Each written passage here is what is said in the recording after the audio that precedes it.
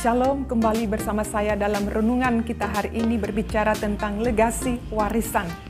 Kata warisan sering dikaitkan dengan properti seperti rumah, tanah, usaha, simpanan di bank, saham, serta surat-surat berharga lainnya dilimpahkan bagi anak cucu atau generasi selanjutnya.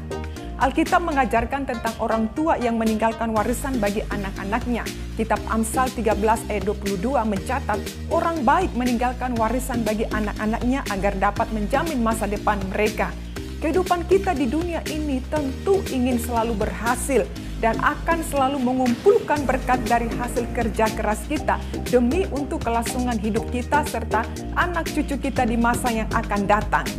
Mengumpulkan harta untuk kelangsungan hidup dan untuk kehidupan anak cucu kita di masa yang akan datang tentu bukanlah sesuatu tindakan yang salah.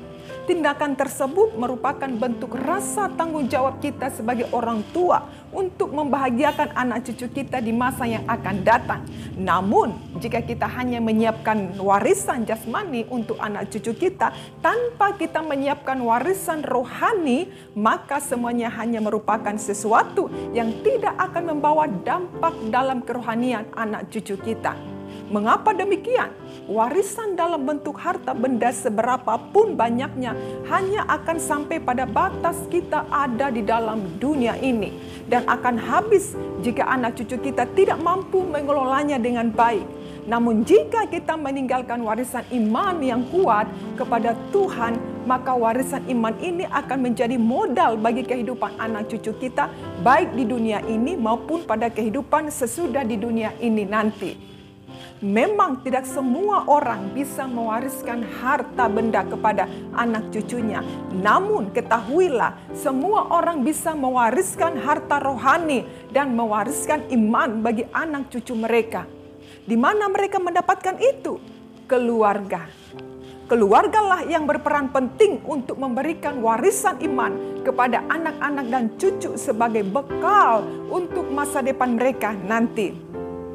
Keluarga merupakan basic atau dasar bagi anak-anak untuk diarahkan pada pertumbuhan iman dan kerohanian mereka. Oleh karena itu, peran orang tua dalam menyiapkan warisan iman bagi anak-anaknya sangatlah penting. Pada masa kini, kita mengetahui zaman teknologi semakin canggih.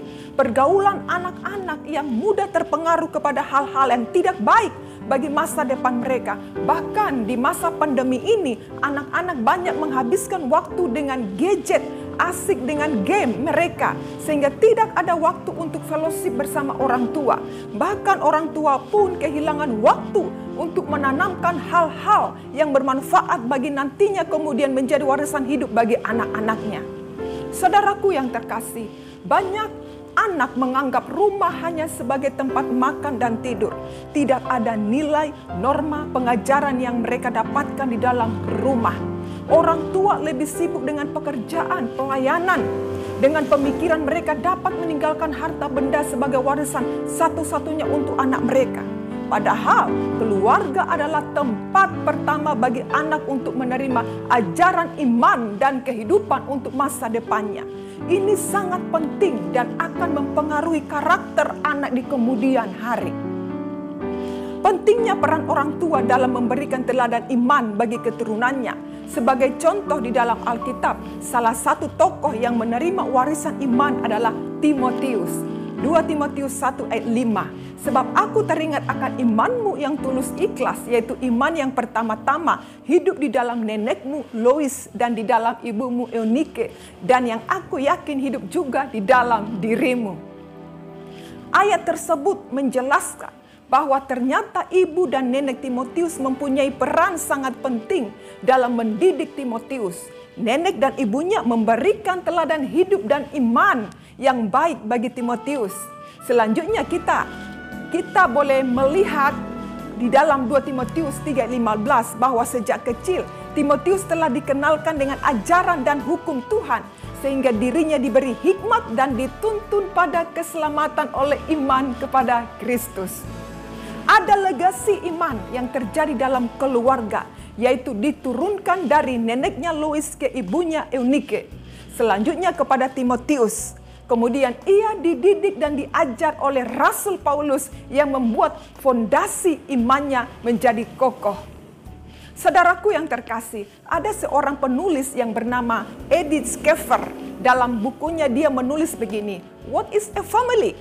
Dalam isi bukunya beliau menyatakan bahwa keluarga adalah tempat menurunkan warisan itu. Dalam ulangan 6 ayat 7 menunjukkan keluarga sebagai sebuah fasilitas untuk membangun warisan rohani bagi anaknya. Jadi dimulai dari keluarga dan kemudian akan berdampak kepada orang lain dalam komunitas mereka di kemudian hari. Timbul sebuah pertanyaan saudara, bagaimana orang tua dapat mewariskan iman dalam kehidupannya sehari-hari? Orang tua tidak bisa hanya mengajar anaknya melalui teori-teori, tapi harus memperhatikan imannya sendiri dalam setiap aspek-aspek kehidupan Contoh, saat menghadapi masalah, ketika mendapat berkat, ketika melihat orang lain dalam kesusahan dan lain-lain. Sedikit kesaksian saudara, anak saya ketika berusia 8 tahun mengalami sebuah kecelakaan dan mengalami luka di kakinya sehingga membuat dia sangat kesakitan. Ketika kami larikan ke rumah sakit, dan ditangani oleh dokter dan perawat, anak saya spontan berdoa dengan sungguh-sungguh kepada Tuhan bahwa dia pasti disembuhkan oleh Tuhan. Berulang-ulang anak saya terus berdoa agar Tuhan menyembuhkan luka di kakinya. Dan kami pun sebagai orang tua kaget ketika melihat kesungguhannya berdoa kepada Tuhan. Dari mana dia tahu tentang doa? Dari mana dia tahu bahwa ada Tuhan yang sanggup untuk menolong dan menyembuhkannya?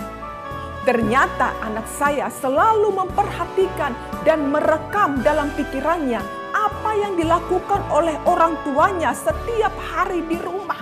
Bahkan ketika orang tuanya mendoakan orang yang sedang sakit dan kami selalu mengajaknya untuk berdoa bersama.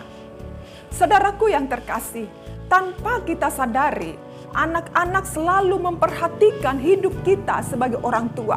Perilaku yang baik, penuh kasih, kejujuran, teladan iman, kesetiaan dimulai dari keluarga. Sehingga membawa anak-anak mengenal Tuhan sejak usia masa mudanya. Wariskan iman dalam pengenalan yang baik tentang Tuhan. Buat anak-anak kita lewat contoh yang nyata dari keseharian kita. Dengan demikian anak melihat bagaimana iman harus dipraktekkan dalam hidup mereka Iman kepada Tuhan adalah modal terbesar dan warisan terbaik untuk anak-anak kita dalam menjalani kehidupan mereka di kemudian hari. Amin. Tuhan Yesus memberkati.